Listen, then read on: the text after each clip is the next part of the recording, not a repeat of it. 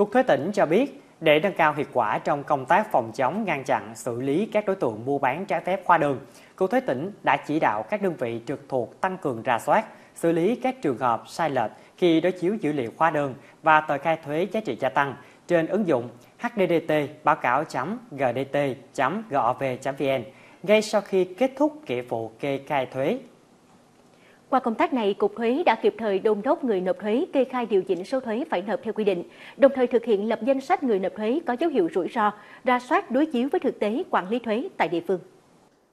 Ngành thuế tỉnh đang tập trung vào người nộp thuế có rủi ro cao để đưa vào danh sách người nộp thuế phải thực hiện giám sát trọng điểm, xác minh thực tế hoạt động của người nộp thuế, xây dựng kế hoạch và thực hiện thanh tra kiểm tra, tránh tình trạng bỏ sót các doanh nghiệp có rủi ro cao. Doanh nghiệp nhiều năm chưa được thanh tra kiểm tra, Cục Thuế tỉnh cũng yêu cầu mỗi một công chức thuế là một kênh tuyên truyền đến người nộp thuế về việc nhận diện hành vi mua bán sử dụng hóa đơn không hợp pháp và chế tài xử lý đối với từng hành vi vi phạm. Phối hợp chặt chẽ với các ban ngành chính quyền địa phương các cấp, cơ quan công an nhằm nâng cao hiệu quả công tác đấu tranh, phòng chống gian lận, mua bán hóa đơn